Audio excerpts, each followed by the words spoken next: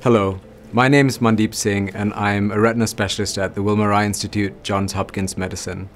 I am an assistant professor in the retina division and I specialize in surgical, medical, and genetic diseases of the retina. In the clinic, I take care of many different types of patients with retinal diseases. There are patients that come in with common problems like distortion in their vision because of retinal membranes or retinal detachment or a macular hole. And then there are patients with very rare and mysterious conditions like genetic retinal degenerations that affect young and old patients. You know, they say you never have to work a day in your life if you love what you do, and I, I just love what I do. Every day in the clinic and the lab and the OR is uh, getting to do what I love, and it was from my inspiration right back from day one.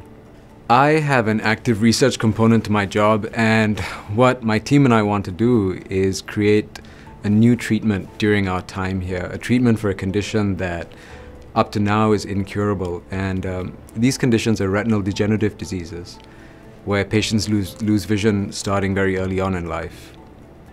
My research goal is to create a stem cell treatment to try to fix these conditions.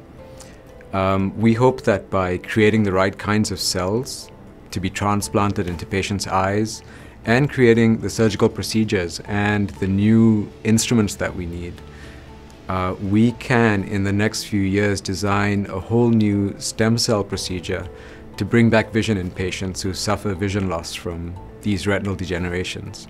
I think this is a great place to come for patients because it's a multidisciplinary team that you have at your disposal with doctors with all sorts of different expertise that can help with whatever eye condition you have.